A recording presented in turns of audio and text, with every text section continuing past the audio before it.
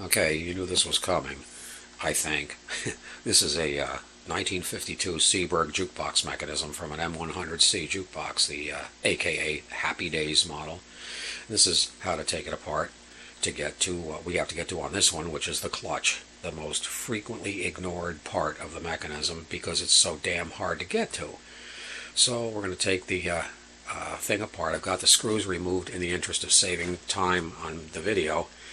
To do this, the plastic parts are already gone from this. This is the way this came in.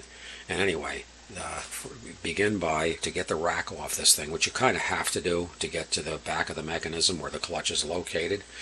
Uh, take the hood off. There are two uh, springs from these two posts. They're already off on each side, one on each side, and one large head screw.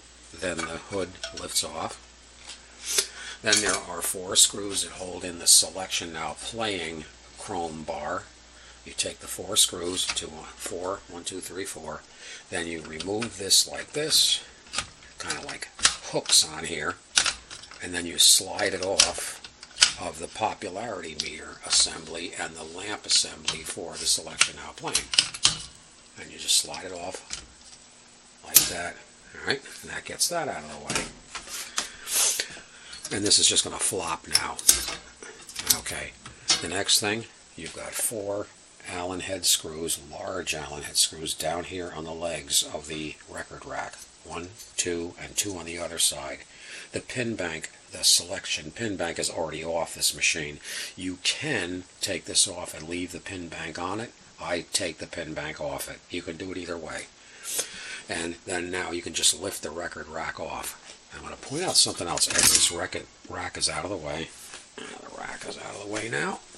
Right, put that on the floor.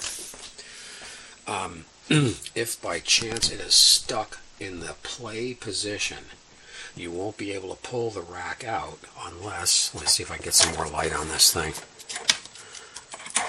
come on. There we go.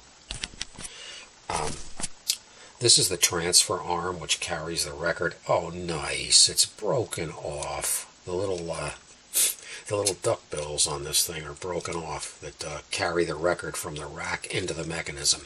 But what I was going to say is if this is in the transfer position, up located up here with a record in the play position on the turntable, you won't be able to pull the rack out. You can put your thumb or your hand through the record rack and you can push down on this to to keep it out of the way. You can also do it with a long screwdriver. It's under a spring tension.